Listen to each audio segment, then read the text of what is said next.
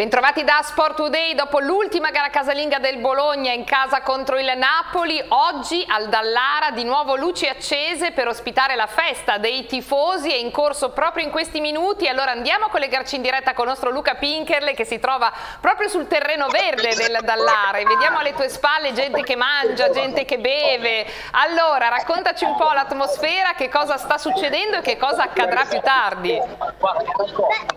Sì Sabrina, siamo qui a bordo campo, stadio Dallara, ieri c'è stata la partita del Napoli, oggi invece una grande festa, un clima meraviglioso, un clima eh, di ultimo giorno di scuola, insomma, ieri c'è stata l'ultima al Dallara, quindi oggi tanti tifosi, circa tra, il numero tra 300 e 400 che si stanno ritrovando qui al Dallara per passare eh, tutti insieme una bella serata eh, di festa, c'è una bella arietta estiva, quindi tanti sorrisi, tanti bambini, tante famiglie, come vedete anche un po' dal movimento che si sta creando e formando alle mie spalle, è una serata in cui il centro Bologna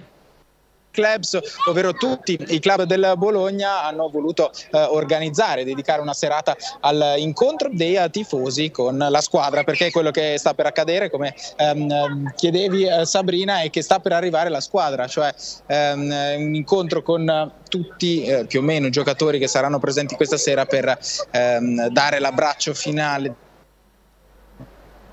di questa stagione ai giocatori perché ci sarà anche il chairman Joy Saputo che eh, farà un saluto alla piazza e dunque ringrazierà eh, tutti i tifosi che sono presenti questa sera e che hanno riempito per tanto tempo eh, lo stadio in questa stagione per ringraziarli del, del, loro supporto di una stagione che comunque Sabrina verrà ricordata soprattutto per i risultati sportivi perché il Bologna fino all'ultimo se la gioca per l'ottavo posto. Eh sì, e allora Luca approfitto visto che poi parleremo stasera, ci collegheremo all'interno del pallone nel 7 con te proprio dallo stadio, così ci racconterai l'atmosfera, l'arrivo della squadra, che cosa dirà Saputo ai tifosi, ma quello che ti chiediamo è cosa dirà domani Saputo a Tiago Motta. C'è qualche indiscrezione su questo incontro che è previsto nella giornata di domani? Intanto mattina, pomeriggio, si sa qualcosa?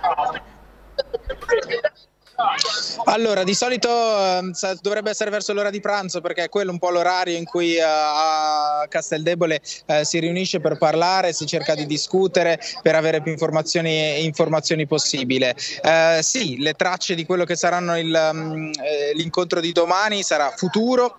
eh, economia del, del, dei bilanci dei, dei, prossimi anni perché il Bologna chiaramente eh, dovrà stare attento anche a quanto spendere quest'estate ma anche nelle prossime tre stagioni per eh, cercare di ripianare quel deficit che, a, a, cui aveva accennato Tiago Motta in conferenza stampa la scorsa settimana. Quindi è un um, incontro prevalentemente eh, di chiarezza, di trasparenza su quelle che saranno le mosse del Bologna quindi con l'allenatore che verrà messo al corrente di questa cosa un allenatore che comunque va verso la permanenza permanenza, come abbiamo parlato ampiamente già nelle scorse eh, settimane, e quindi noi saremo chiaramente per raccontarvi tutto questo si parlerà anche di mercato, Sabrina, quali saranno i giocatori ehm, per, i quali, per, i quali, Tiago Motta vorrà eh, comunque eh, formare una task force, una ehm, spina dorsale della squadra anche durante la prossima eh, stagione. chiaramente il mercato ehm, verrà valutato anche in base alle offerte che ci saranno, però eh, le indicazioni da parte dell'allenatore su quali giocatori eh, volere trattenere, ma soprattutto le ambizioni del club, per capire quanto si può spingere avanti questo Bologna Bologna e quando. E con Tiago Motta allenatore bisognerà capire se dalle prossime stagioni Bologna potrà già avere ambizioni superiori di quelle che comunque sta già coltivando e che sta portando avanti fino alla fine, perché ehm, erano quasi vent'anni che il Bologna fino alla fine non si giocava qualcosa di importante. Questa è la stagione eh, per farlo e eh, tutti i tifosi che sono qui stasera sperano di vedere un miglioramento della squadra e lo spera anche Tiago Motta. E allora domani sicuramente una giornata interessante dal punto di vista del futuro, la seguiremo con te da Casteldebole all'interno di tutti i nostri appuntamenti sportivi, ma caro Luca ci vediamo con te dalle 21 perché stasera all'interno del pallone apriremo diverse finestre dallo stadio così ci farai un resoconto e magari ci porterai anche qualche tifoso così sentiremo un po' davvero com'è eh, l'umore di chi ama e segue il Bologna. Grazie intanto Luca, buon lavoro, ci risentiamo all'interno del pallone, a più tardi tardi. C'è tanto da mangiare, starò bene, grazie mille.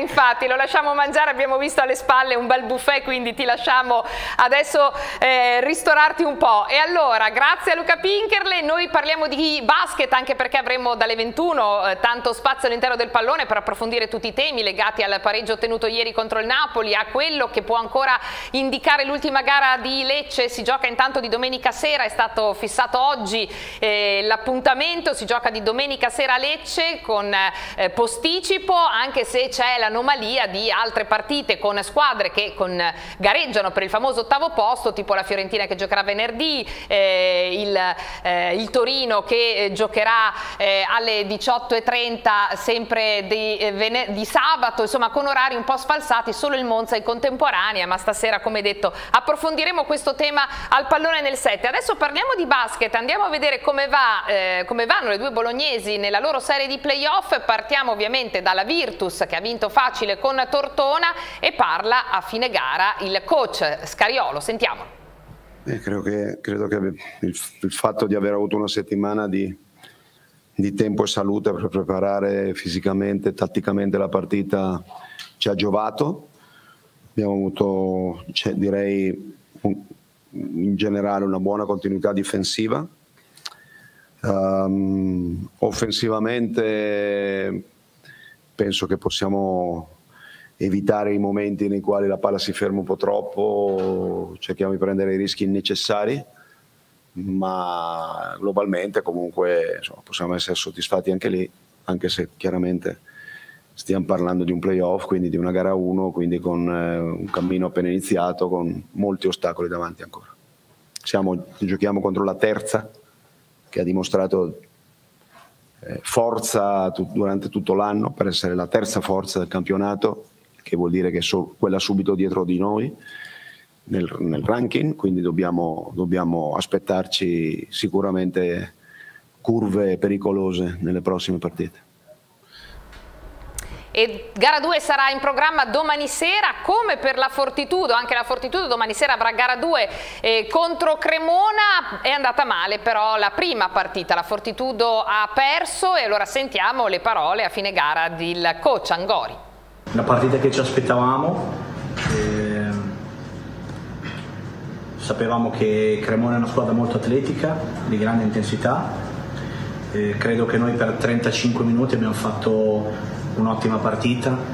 sia offensiva che difensiva. Difensiva rispettando il nostro game plan, offensiva cercando di muovere la palla e, e punire qualche loro scelta, scelta difensiva.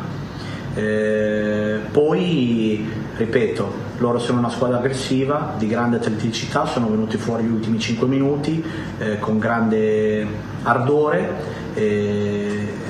e noi purtroppo non abbiamo retto il colpo. Eh, credo che siano lampanti eh, due dati di questa partita, i 10 rimbalzi offensivi